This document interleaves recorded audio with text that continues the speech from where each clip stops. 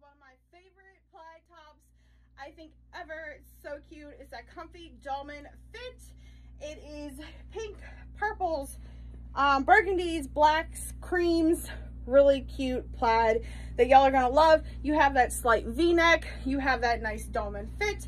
So the sleeve doesn't even actually start until your um your elbow. So those of you that have the upper arm issue, um, you don't have to worry about that with this top. And then it tapers in a little bit through your hip. It is just a really nice um, fit. I love this. You could totally wear it with some leggings if you wanted because it does get longer in that back or you can just kind of pull it up and just kind of have it more of like that loose loose fit through here. So you can totally fit uh, feel it like the or wear it, my goodness, wear it like this also.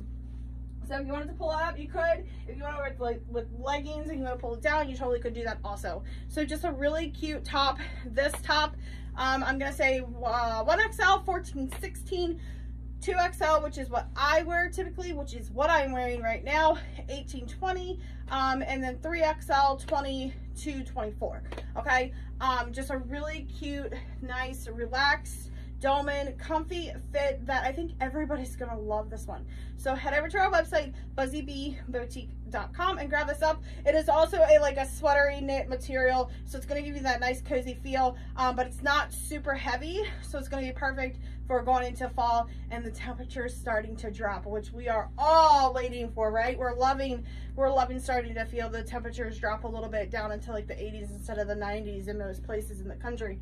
So anyways, really, really cute top. We are ready for fall over here. So go grab this one up right now on our website, buzzybeeboutique.com. I also have our Isabel Judy Blues on, which are a dark wash denim that everybody needs in their wardrobe, okay?